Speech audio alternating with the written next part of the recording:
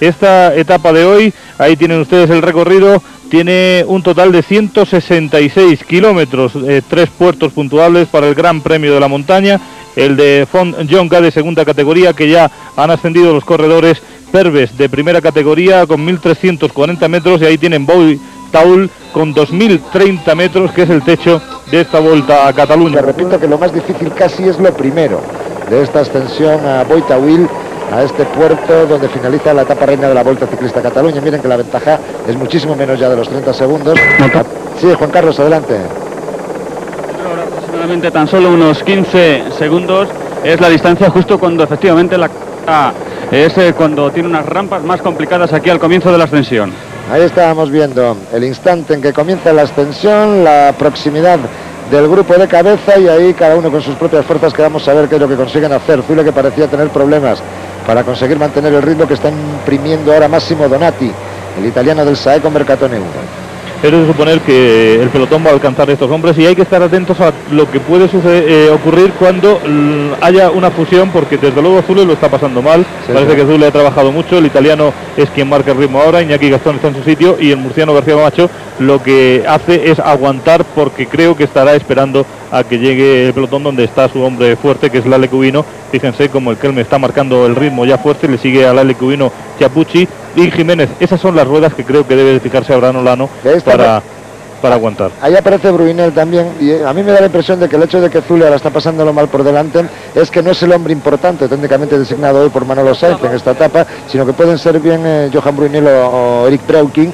porque de momento son los dos hombres que nos han visto, que han estado agazapados ahí en el seno de ese pelotón, porque si no el trabajo de Zule, eh, viéndole que se queda casi nada más empezar la subida, pues no parece que tenga mucho sentido el hecho de que fuera el hombre designado por su director para, dar de verdad pues eh, el do de pecho en la jornada de hoy. Me parece que se han quedado en cabeza solos Máximo Donati e Ignacio García Camacho estos dos hombres que están viendo ustedes en estos instantes y que de momento están cediendo Iñaki Gastón y Alex Zule. Las instrucciones de Juan Fernández no la lían para demasiado, a no ser que fuera que le dijera que se quedara para esperar a alguien, pero yo creo que, yo creo, que, se trataba de eso. Vamos a ver cómo se van desarrollando los acontecimientos. Estamos ya en la parte final de la carrera, en la ascensión a Boitahuil, en el final de la cuarta etapa de la etapa reina de la 74 edición de la Vuelta Ciclista a Cataluña. ¿eh? Están viendo en estas imágenes del helicóptero la referencia visual de la ventaja de los dos hombres de cabeza, ahí a punto de ser neutralizado Alex Tule y un poquito más adelante ya no lo vemos, era Iñaki Gastón, el otro hombre que también iba a ser neutralizado. Y estos dos que vemos ahora en estas imágenes desde el helicóptero, Máximo Donati y Ignacio García Camacho, son los dos hombres que todavía mantienen, pues eso, en torno a los 15 segundos aproximadamente de ventaja con respecto un pelotón que también sigue perdiendo unidades por la parte de atrás. Esta es la parte más dura de la, de la ascensión, con estas curvas tipo paella, con desniveles bastante pronunciados. En el instante en que fíjese el pelotón se ha quedado ya ahora sí con no más de 15 corredores. Ya se han quedado muchísimos de los que habían conseguido conectar en el descenso después de la ascensión al Col de Perves y ahora pues se están quedando ya de verdad los que tienen alguna cosa que decir en el transcurso de esta carrera. Los que aspiran a la tapa y los que aspiran a la general de la vuelta. Y hay batalla ahí en ese grupo. Yo no sé si es Zule, el hombre que se estaba quedando por detrás, que ha sido rebasado. Hay 20 segundos de diferencia entre García Camacho, Donati y el pelotón de los escogidos. Creo que Zule ya definitivamente se ha hecho su trabajo, como bien decía Pedro González. Y el italiano, pues Donati es el que, el que tiene que hacer el esfuerzo. García Camacho no tiene que hacer absolutamente nada, sino esperar a que venga Lale Cubino. El italiano que está bien situado, pues debe de trabajar. Un trabajo que es mucho el que debe de hacer y por eso mira, mira tanto hacia detrás. Fíjense cómo lo hace, porque por atrás la batalla está servida y van a decir la vuelta. Son los hombres que están reaccionando inmediatamente después del ataque de Claudio Chiapucci. Ahí le tienen en la primera posición por delante, no, no es, no es Antonio, sí, es Antonio, Antonio Sánchez. Antonio Sánchez, Lale Cubino y José María Jiménez, sí, Juan Carlos. Los dos hombres de cabeza eh, marchan ahora bajo la pancarta, 10 kilómetros por la línea de meta. Había atacado hace unos instantes tan solo Alberto Camargo, salió tras él Lale Cubino y después el ataque de, de Chiapucci ha sido definitivo. Van a ser alcanzados por los dos hombres que marchaban al frente. En definitiva, se une ahora todo el grupo. Aunque intenta perseverar en el intento Ignacio García Camacho, me parece que sin mucho éxito. Son neutralizados los dos hombres de cabeza, Ignacio García Camacho y Máximo Donati. Claudio Chiapucci fue el que efectuó este último acelera, esta última aceleración importante y la respuesta inmediata de Antonio Sánchez es el que intenta marcharse ahora. el eh, corredor del equipo Artiach, está pasando a la primera posición. Están muy bien representados en esta ocasión los hombres que dirige Paco Giner en la cabeza de esta etapa. Antonio Sánchez, Félix García Casas, Daniel Clavero y Antonio Sánchez es el que atacaba, pero Ignacio García Camacho mantiene ahora el primer puesto porque ahora su trabajo es otro, que es mantener un ritmo fuerte para Lale Cubino y siguen quedándose hombres, Juan Carlos Rivero. Hubo diálogo, hubo diálogo entre García Camacho y Lale Cubino. Cubino le, ha dicho que se colocara al frente marcando el ritmo de, este grupo y ha sido realmente impresionante cómo ha reaccionado rápidamente García Camacho cuando se había producido ya ese primer ataque. El jefe es el jefe y el jefe aquí es Cubino. Lo estaba esperando García Camacho, es la misión que tenía, por eso saltó y no dio ni un solo relevo. A ver la fuerza que tiene García Camacho, que parece que tampoco es mucha, porque no para de mirar a la no, ya, como si ya ha hecho el trabajo que tenía que los, hacer. los 125 metros que podía hacer, ya los he realizado y ahora es Claudio Chiapucci otra vez el que está pasando en la primera posición. Ahí se va quedando muy poca gente ya. Son poquitos los corredores que van quedando en este grupo y Claudio Capuche que mira hacia atrás como diciendo, cuidadito que yo tampoco lo voy a hacer todo. ¿eh? Ataca tú que a mí me da la risa, que decía el otro. Ahí está, pasando en la primera posición. Antonio Sánchez sigue realizando un fenomenal trabajo el corredor del equipo Arteach es la Lecubino que marcha a continuación y García Camacho que se va quedando aunque va aguantando todavía ahí. Yo el que creo que se ha quedado ha sido Brunel también en Virenque que ah, quería despistar pero se ha quedado despistado. Miren ustedes dónde pues está Virenque. Y Olano, ¿eh? Precisamente con Abraham Olano que se han quedado descolgados. Por delante va eh, Brunel.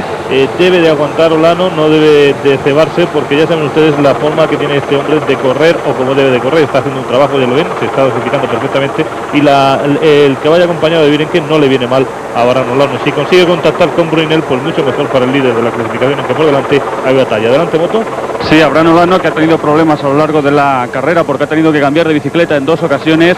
Se ha quedado ahora ya bastante distanciado, ni siquiera puede seguir la rueda de Johan Brunel, mientras el que sí que ha reaccionado es eh, que ahora es el que está cerrando un grupo que, que componen aproximadamente unos 10 eh, eh, corredores, en el que por supuesto también está Pedro Delgado, Quiapuche, José María Jiménez. Ahí les tienen, Laudelino Cubino, eh, Claudio Chiapucci, Antonio Sánchez, José María Jiménez, Fernando Escartín, Vladimir Belli, Ignacio García Camacho, Pedro Delgado, Máximo Donati. Y me parece que Coque es el otro que está en ese grupo únicamente. Vamos a verlo.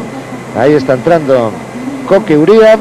Pues esos son los hombres que componen ya solo el grupo delantero, ya dando sus últimos coletazos que mucha gente, bueno, todos los días se ven pancartas en todos los sitios y mucha gente que se le acerca para pedirle Perico, no te retires, Perico, no te retires. Pero él pues sigue requerre, aunque siempre dice que todavía no sabe muy bien lo que va a hacer, lo que sí que no va a hacer es seguir encima de la bicicleta y es que son muchos años ya, si no me equivoco, desde el 82 serían con esta pues 13 temporadas como corredor profesional y la verdad es que eso es bastante con la disputa pues de 11 o 12 Tours de Francia, de no sé cuantísimas vueltas a España, bueno, mucho, mucho, mucha tensión a lo largo de muchos años y eso cansa. Juan Carlos Rivero. En el terreno llano, el grupo del líder no ha logrado al final enlazar con los 10 hombres que marchan en cabeza de carrera y ahora que de nuevo comienza la ascensión, se van perdiendo tiempo con respecto a los eh, primeros corredores. Estamos a 6 kilómetros de la línea de meta. 6 kilómetros que todavía darán bastante juego, aunque no son demasiado duros, todavía darán bastante juego en esta parte final de la ascensión, porque sobre todo vemos como muy tensos, muy nerviosos, muy esperando lo que va a pasar a estos dos que marchan delante, Chiapucci y Cubino, que no paran continuamente de mirar hacia atrás y que son los hombres que más tensos se encuentran en estos momentos. Es Coque Uría, el hombre que ha estado siempre escondido en el último lugar de este grupo de cabeza y me parece que es el que ahora ha salido, Juan Carlos Rivero bajo la pancarta de 5 kilómetros para la línea de meta, el que hombre que había tenido problemas para enlazar justo en el ataque de Chiapucci y de Cubino, ahora ha tomado unos metros de ventaja, pero va a ser alcanzado de nuevo por ese grupo. Ahí está José Manuel Uría González, el asturiano del equipo Castelblanc, protagonista de una escapada de 200 kilómetros en la segunda de las etapas de la Volta, pero un cubino que no perdona, que no quiere dejar nada Cubino Chiapucci, que ya se pelearon bastante en la última Vuelta Ciclista Galicia, junto con Antonio Sánchez, Vladimir Belli, José María Jiménez, Fernando Escartín, que se le ve muy cómodo también a Fernando Escartín, Perico Delgado y Máximo Donati, que también junto con Ignacio García Camacho, estos tres que cierran el grupo, Ignacio García Camacho, Máximo Donati y Coque a pesar de su acelerón, parecen ser los que más están sufriendo y los que menos eh, cómodos se encuentran en este grupo de 10 que a poco menos de 5 kilómetros para el final siguen siendo cabeza de carrera. Ahí veíamos en esas imágenes al grupo de 5 y la diferencia debe estar eh, oscilando aproximadamente ahora en torno al medio minuto. Efectivamente, eso iba a decir, porque aunque en terreno no es mucho, recuerden que están cuesta arriba y ahí pues se tarda un poquito más en recorrer el terreno. Y por lo tanto, en torno al medio minuto, aunque se ven, porque la carretera además propicia con esas curvas el hecho de que todos se puedan ver, los de adelante a los de atrás y los de atrás a los de adelante, mientras Cubino y Chiapucci son los únicos que siguen marcando un ritmo ahí. Bueno, Cubino casi siempre, porque Chiapucci pegó un par de acelerones, pero ahora también se está ahí reservando bastante detrás del Ale para intentar pues atacarla al final cuando llegue el momento definitivo e intentar conseguir su victoria de etapa. Lale Valiente, un cubino fenomenal en el final de temporada después del Tour de Francia, que ha ganado muchas cosas y que tuvo pues un poquito de mala suerte que le impidió ser medalla en el último campeonato del mundo disputado en tierras sicilianas. Adelante Juan Carlos. Cuatro kilómetros tan solo de ascensión ya para el final es el momento de echarle el resto, tanto para Lale Cubino, Chiapucci, como para los hombres de atrás. Estoy hablando de Brunel y de Abraham Olano. Ahí están, se están decidiendo entre ellos la vuelta. Abraham debe de estar mirando y vemos como Pedro Delgado todavía mantiene el ritmo. Jiménez eh, junto a él y es digno de, una mención especial este corredor. Es punto y aparte, Pedro Delgado. Sí, es punto, punto y final, es lo malo, porque ya me parece que es el punto y final. Sí, pero termina así. de un gran corredor, pero efectivamente, por eso la gente no quiere que se retire, porque todavía le ven que está a nivel competitivo, pero por eso quiere retirarse él, porque lo que no, que no, lo que no quiere es eh, un año más o un par de años más arrastrándose por las carreteras. Prefiere retirarse así a nivel competitivo. Ha estado bien en casi todos los sitios donde ha corrido, fenomenalmente bien en la Vuelta a España, donde fue tercero. En casi todas las carreras en las que ha participado, pues ha tenido un rendimiento bastante bueno. Quizá el peor o uno de los peores fue una Vuelta a Burgos, pero porque había estado bastante tiempo sin competir, bastante tiempo sin correr y eso lo notó. Lo notaron todos, pero quizá el más, un hombre ya más veterano, pues nota más ese terrible parón que había sufrido pues casi desde la Vuelta a España en la que casi pues no había competido en carreras por etapas, pero después de la Vuelta a Burgos pues ha vuelto a coger un buen punto de forma y aquí estamos viendo en la Vuelta a Cataluña cómo se encuentra en un plan eh, pues absolutamente competitivo. Un par de corredores más están intentando, bueno, ahí vemos algunos de los grupos que se están quedando, un par de corredores más eh, que están intentando, son dos hombres que se están quedando del grupo, sí, porque son Ignacio García Camacho y Máximo Donati, efectivamente. Los dos hombres que, habían protagonizado la escapada junto a Gastón y Zule, que ya se quedaron hace mucho, pero Donati y García Camacho están pagando el esfuerzo realizado con aquella escapada de unos veintitantos kilómetros que protagonizaron. Se están quedando, por lo tanto, ya solo ocho hombres en cabeza, los ocho hombres eh, más importantes de ellos. El mejor en la clasificación general en estos momentos es Claudio Chiapucci, que estaría a 19 segundos de Olano, por lo cual sería virtual líder de la clasificación general, Delgado que está a 21 segundos, Antonio Sánchez que está a 22, Fernando Escartín que está a 24 segundos. Son eh, los hombres que marchan en este grupo delantero. Sigo buscando a ver eh, dónde aparecen los demás. Lale Cubino que se encuentra a 35 segundos, José María Jiménez que se encuentra a 37 segundos. Son eh, algunos de los hombres. Faltan eh, otros, Antonio Sánchez, eh, por cierto, también se encuentra a 22 segundos. Ha hecho una magnífica etapa contra el reloj inicial Antonio Sánchez. Y estos son los hombres que se encuentran en el grupo de cabeza. Ahí muy lejos está Cocubría, que tuvo un par de caídas en las dos últimas, bueno, una caída en la última jornada, en la tercera etapa, que le hizo perder mucho tiempo y un desfallecimiento después de la escapada de la segunda que también le hizo perder mucho tiempo. Pero de momento se sigue manteniendo entre los mejores, bajo el ritmo que impulsa Lale Cubino siempre dando la cara, siempre en el primer lugar en este grupo de cabeza en el que también está, además de los citados, el corredor italiano Vladimir Belli, el corredor del equipo Lampre, que es el único que en estos momentos se está manteniendo en este grupo de cabeza. Un Vladimir Belli que está también a 30 segundos en la clasificación general. Ninguno de ellos, por tanto, es un hombre a despreciar. Todos son eh, corredores que han tenido un muy buen rendimiento en la etapa contrarreloj y de ellos quizá únicamente por las circunstancias citadas Coqui Uría que ya no tiene casi ninguna opción en esta Vuelta Ciclista Cataluña. Juan Carlos Rivera. Es larga, aunque no es una ascensión muy dura. Ahora pasan a dos kilómetros y medio de la línea de meta y se va ampliando ligeramente la diferencia con respecto a Abraham Olano, poco más de 30 segundos. Es curioso cómo, que, cómo quedaría encabezada la clasificación general de llegar de esta forma y manteniendo este tiempo. Pues fíjese, primero sería Claudio Chiapucci y segundo Pedro Delgado, que no está nada mal. Tercero eh, Antonio Sánchez y cuarto Escartín. Estos hombres en la contrarreloj de 15 kilómetros 600 metros en San Felipe de Guisols eh, pueden mantener, yo creo que el, que más posibilidades podría tener de mantener la diferencia con Ruinel y con Olano podría ser eh, curiosamente Pedro Delgado y, Antonio y Antonio Sánchez tal no lo sé, la verdad es que es muy difícil cuando va una carrera de una semana a estas alturas de temporada hacer todo tipo de... Bueno, siempre es difícil, ¿no? pero sobre todo a estas alturas de la temporada yo creo que todavía es mucho menos consistente una opinión a este respecto porque nadie sabe cómo pueden estar los corredores. Delgado no va demasiado mal, se le ve bastante cómodo en ese grupo en el que siempre Lale Cubino y Claudio Chiapucci mantienen el ritmo. Eh, es el que está pasando ahora por más problemas para mantenerse ahí con este grupo principal. Y eh, bueno, eh, hay una circunstancia reseñable que es que el equipo Banesto con José María Jiménez y Pedro Delgado es el único conjunto que lleva dos representantes. Por lo tanto, pues es el que podría. Sí, pero Jiménez se queda, ¿eh? Ah, Jiménez se está quedando también. Decía yo que era el único equipo que podía establecer pues alguna labor conjunta en la parte final de la carrera. De momento, sí, ahí está Jiménez al fondo. Y Antonio se está quedando Antonio Sánchez que también está pasando por problemas y ya son menos, seis, solo ya. Los corredores que transitan en ese grupo principal, siempre encabezado por Lale Cubino, precediendo siempre a Claudio Chiapucci, Pedro Delgado, Fernando Escartín, Vladimir Beli, Coqui Uría. Ahí los tienen, los seis hombres que ahora son cabeza de carrera. Ya se han quedado José María Jiménez, Antonio Sánchez, y antes lo hicieron Ignacio García Camacho y Máximo Donati. Cubino, Chiapucci, Delgado, Escartín, Beli y Uría. Los seis hombres que siguen siendo protagonistas del final de esta cuarta etapa, etapa reina de la 74 edición de la Volta Ciclista Cataluña. Estos son los que les queda todavía por subir. Estas imágenes que ya les ofrecemos con una de las cámaras instaladas en la línea de meta.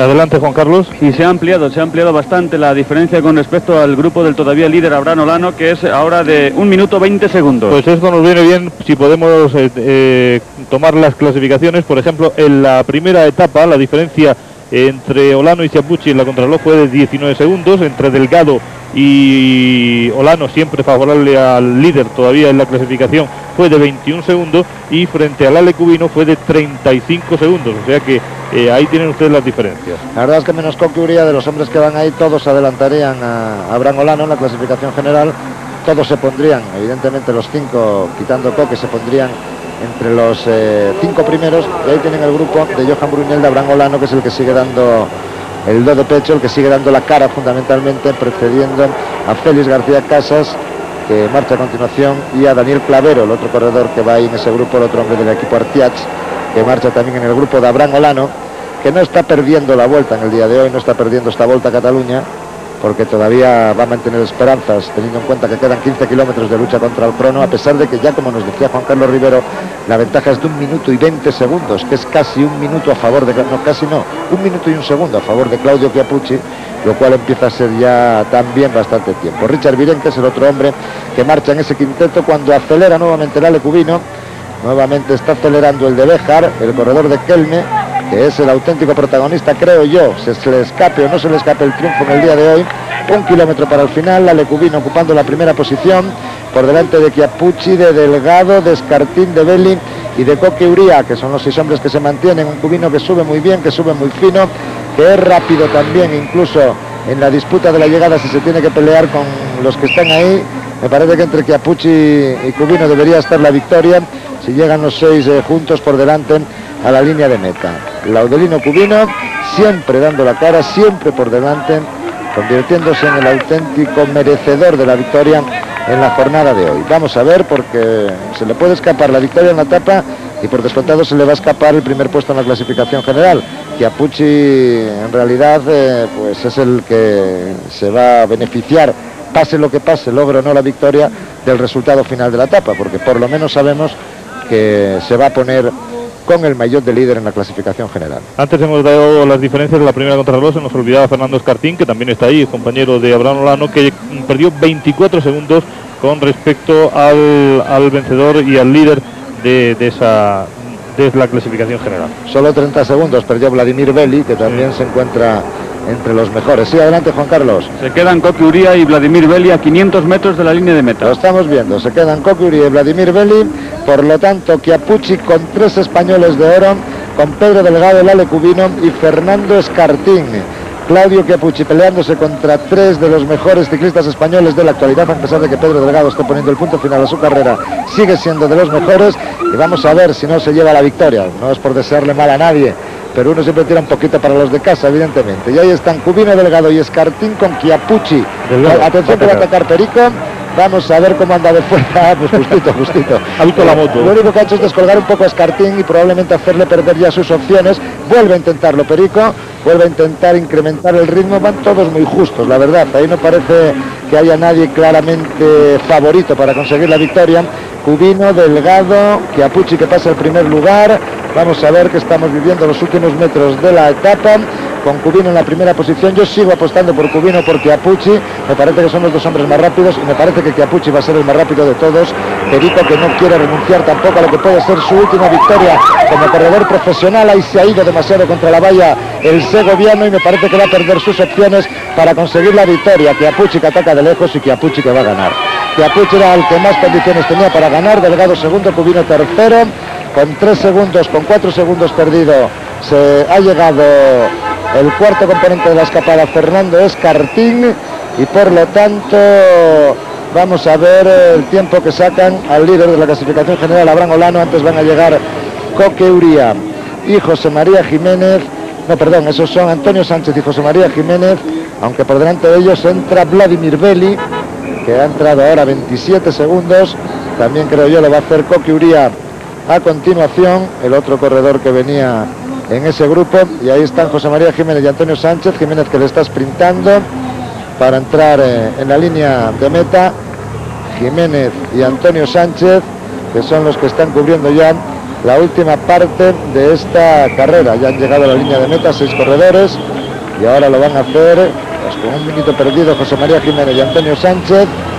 Esto significa que la diferencia todavía va a ser bastante grande. A un minuto ha entrado Jiménez ya un minuto y cuatro, tres segundos, cuatro segundos aproximadamente, ha entrado eh, su compañero, el hombre que marchaba junto a él en estos momentos, Antonio Sánchez. Antonio Sánchez. Y ahí están los otros eh, cuatro corredores, cinco corredores, aunque se ha quedado un poquito uno de ellos. Y ahí están pasando Johan Bruinel, Abraham Olano, también eh, Félix García Casas, Daniel Clavero y Richard Brenque, que es el que se ha quedado un poquito.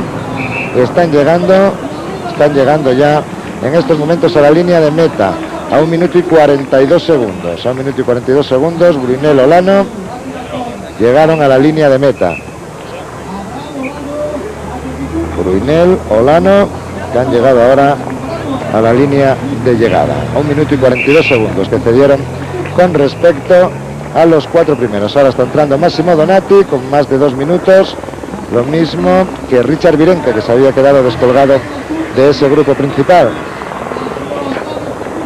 Bueno, y ya tenemos con nosotros a el hombre que ha hecho, digamos, la etapa, el hombre que lo ha dado casi toda la etapa, al final no ha podido...